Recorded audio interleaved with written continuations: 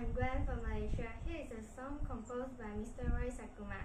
Congratulations for their 50th Ukulele Hawaii Festival.